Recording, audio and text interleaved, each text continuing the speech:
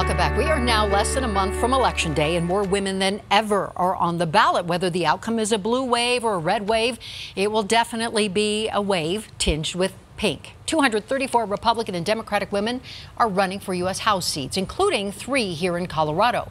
That is 67 more than two years ago when the previous record was set. 22 women from the two major parties will be on ballots for Senate seats across the nation, and in six states, both the Republican and Democratic candidates are women, including Arizona, which will get its first female senator no matter who wins.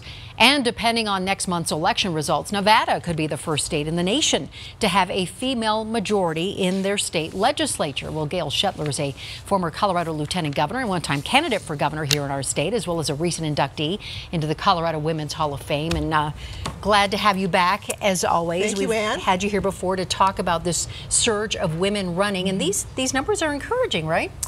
I'm thrilled. I think it's it's so encouraging, and um, one of the, the one of the numbers that really strikes me is that in the 2016 cycle, there were 1,900 women who called Emily's List, which is a major PAC supporting women candidates, Democratic women candidates. So there were 1,900 two years ago. This cycle, there are 42,000. 42,000.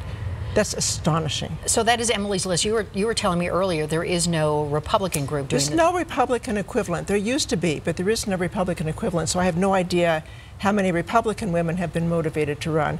But to go from 1900 to 42,000, that says that women are really, really motivated to run. And you have made this your your mission now to That's make sure that more women are elected. So, uh, with those numbers, what do you attribute that, them to? Your your work, the work of Emily's list, or what we see? I think in women are DC? upset with what's happening in the country today. I think that women, um, in fact, I've had so many women say to me, I didn't like politics, I didn't want to get involved, and then I watched what was happening in the country, and I watched the sort of disrespect of women, and I had to get involved. I had to do something. So I'm going to run. I'm going to run for the school board, I'm going to run for the city council, I'm going to run for the U.S. Senate, I'm going to run for governor.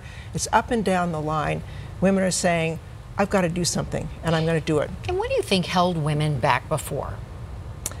women need to be asked. Um, women need to be asked to dance, and so and a lot. Most women I talk to say, "Well, you know, I, I'm thinking about running someday, but I need to. I've got to get my law degree, or I've got to get my degree, or I've got to let my kids grow up, or I'm too old, or I'm too young, or I'm through this." Men stand up and say, "Here I am. I'm ready." Women need to be asked and encouraged to run. And I think for the first time in my many years in politics, women are saying, I don't need to wait. I'm going to do it. Uh, This is the year I'm going to do it. Yeah, because uh, I mean, half. I They're mean, upset. Women are half the country, right? 51%. So women are upset.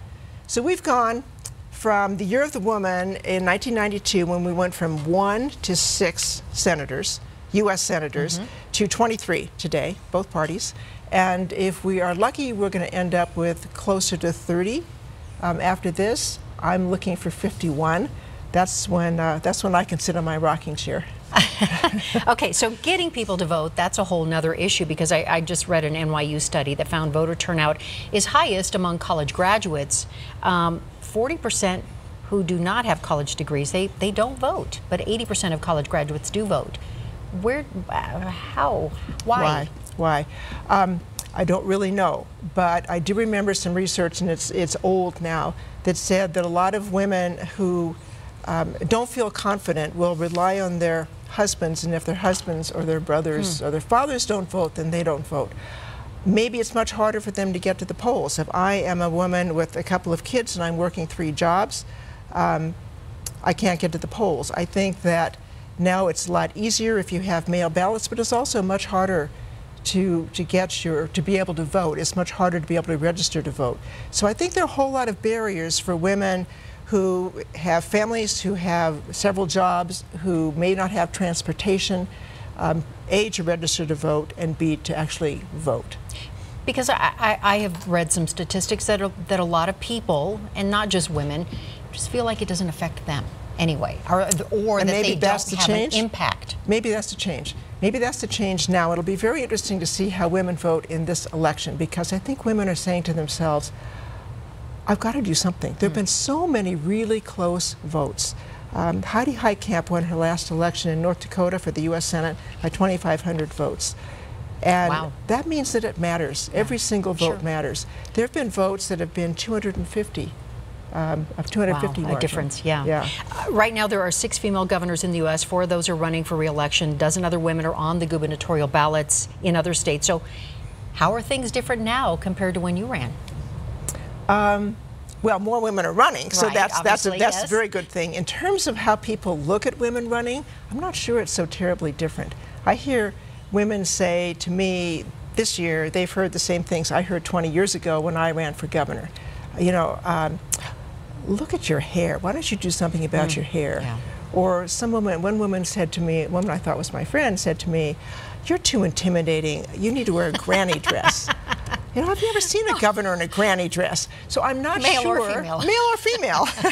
so I'm not sure that it's terribly different, except that when more women run, more women are going to win, and when more women vote, and when more women support women, then women will win. More acceptable. And very quickly, Colorado, you would think Colorado would be a progressive enough state to be able to get a, a female on the ballot. You would think. We have never had a woman governor or senator. I'm hoping in 2020 that we will elect a woman senator.